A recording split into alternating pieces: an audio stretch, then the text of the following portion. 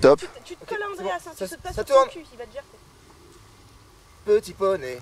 Super sympa. Petit, poney très cool qui prend tout le monde sur son dos. Petit poney super sympa. Petit poney super sympa. Celle-là est dégueulasse.